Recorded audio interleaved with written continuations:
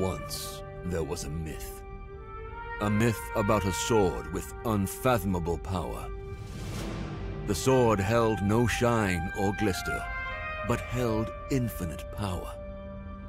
Excalibur. It stood for ages, wedged in a stone, waiting for the rightful owner to answer to. Many have tried.